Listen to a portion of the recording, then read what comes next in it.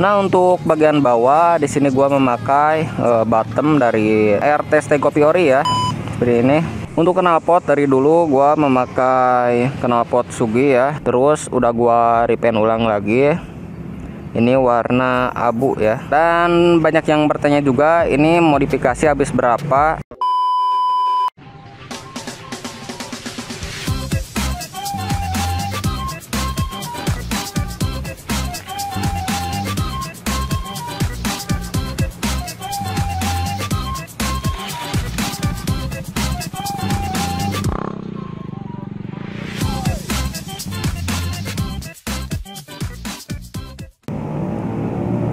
Oke, selamat sore balik lagi di channel Moto Moto Vlog. Pada kali ini gua akan mereview motor gua dan sekarang ini ada beberapa uh, part yang gua ganti. Jadi langsung saja kita review, oke? Oke, langsung saja kita review dari bagian atas terlebih dahulu. Untuk bagian pengereman di sini gua masih sama seperti dulu gua di sini memakai master rem Brembo GP CNC jadi seperti ini. Ini gua pakai udah lebih dari satu tahun dan alhamdulillah ya belum ada kendala sama sekali. Jadi masih normal dan masih fungsional.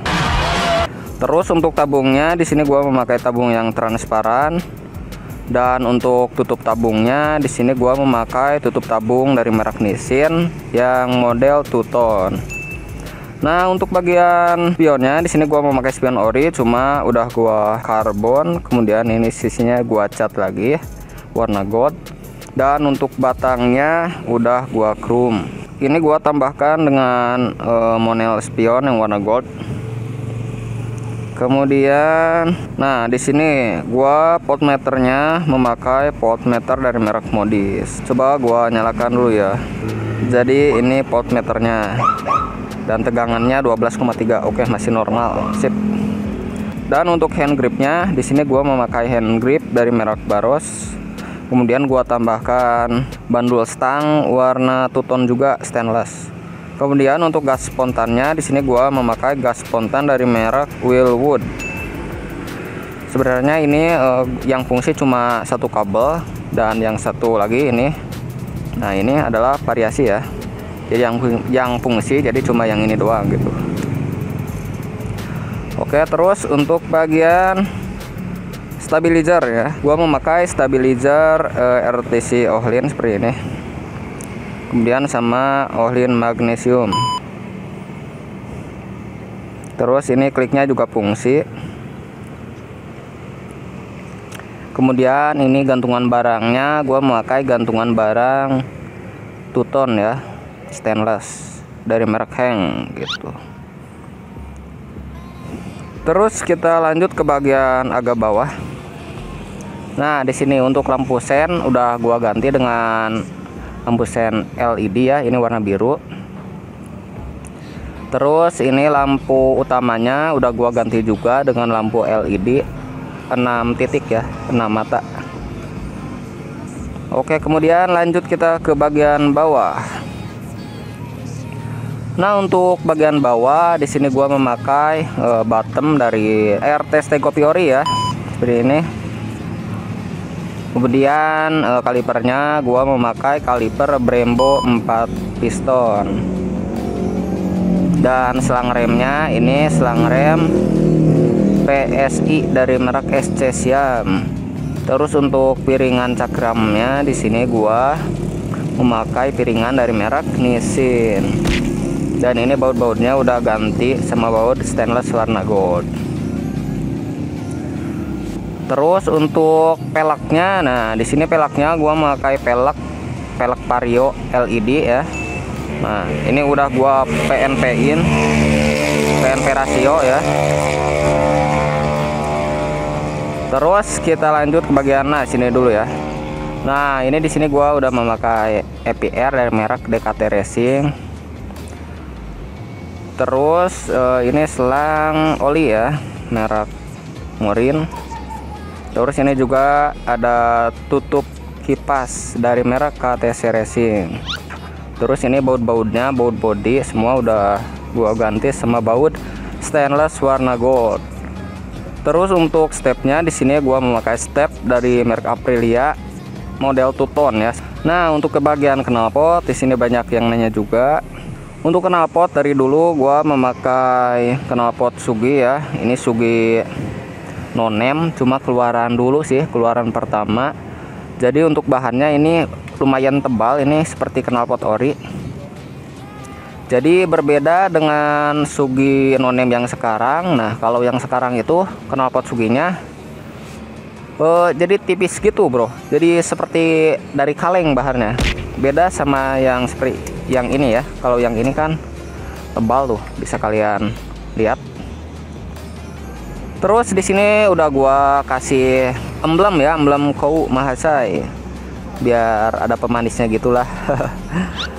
Dan di sini udah gua ganti eh ganti. Udah gua pasang corong juga. Terus ini tameng jumer tuton juga ya. Leheran juga udah tuton cuma ini udah agak pudar gini nih warnanya. Udah satu tahun lebih juga nih udah lama. Harusnya ini udah diganti nih.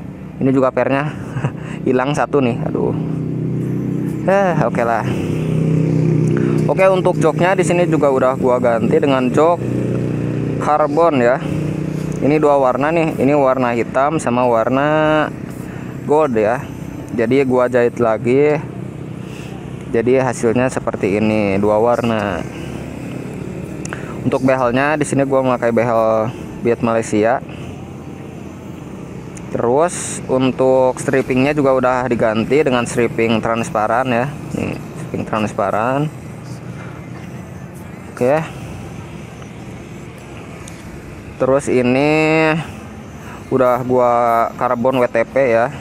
Sama ini juga nih tutup filter udah gua karbon WTP kemudian untuk shock di sini gua memakai shock bike ukuran 310 mm kemudian ini adalah selang gardan ini sebenarnya dua selang gardan cuma gua sambung jadi satu jadi seperti ini nih Terus untuk CPT-nya. Nah, untuk CPT-nya di sini gua udah ganti juga menggunakan CPT Airblade ya, seperti ini. Terus udah gua repaint ulang lagi. Ini warna abu ya. Ini sih catnya gua nyampur sendiri gitu. Kemudian untuk paha rem, nah di sini paha remnya gua memakai paha rem dari merek Seven Speed. Kemudian pernya juga udah diganti sama per yang warna gold seperti ini.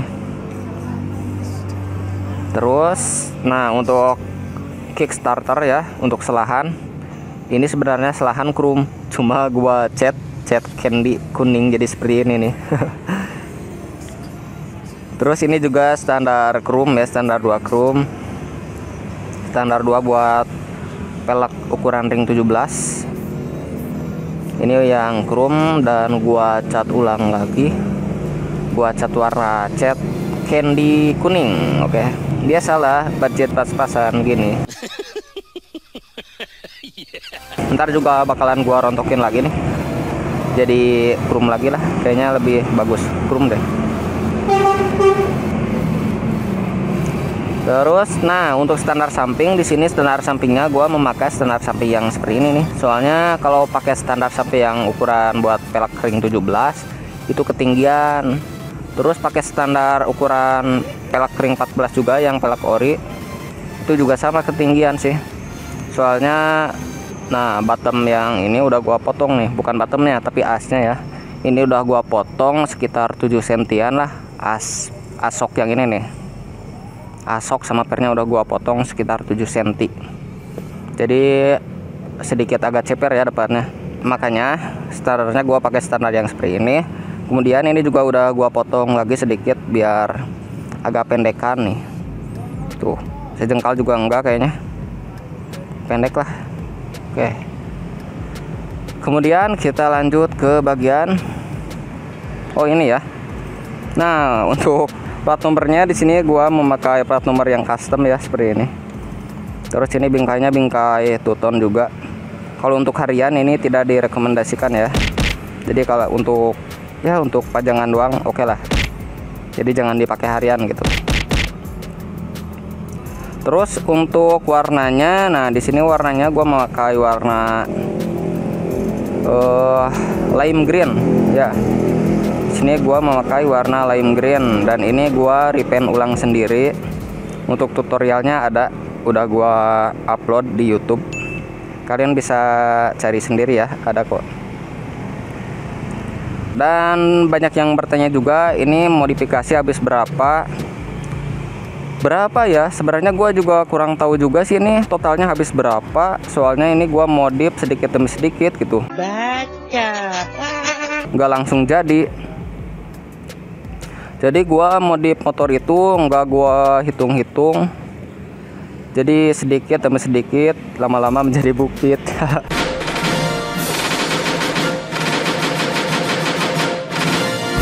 Gitu deh. Jadi untuk budgetnya ya gak tahu sih. Gue juga gak tahu. Oke mungkin videonya cukup sampai di sini saja ya. Kayaknya ini udah deh udah gue ngomongin semua. Jadi Ya terima kasih sudah menonton videonya dan bagi yang belum subscribe silahkan di subscribe juga. Dan jika kalian suka dengan video ini jangan lupa di like kemudian komen dan subscribe juga bagi yang belum subscribe. Dan nantikan terus video dari gua. Sampai jumpa di video berikutnya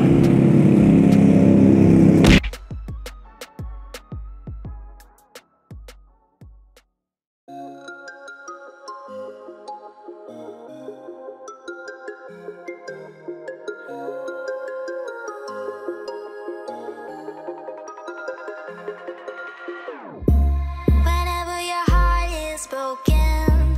Don't ever forget you're golden. I will find a light in your soul. I'll be there. I'll be there. Never leaving you in the darkness, even when you're out of focus. I will be the light in your life. You'll see it clear. I'll be the inspiration.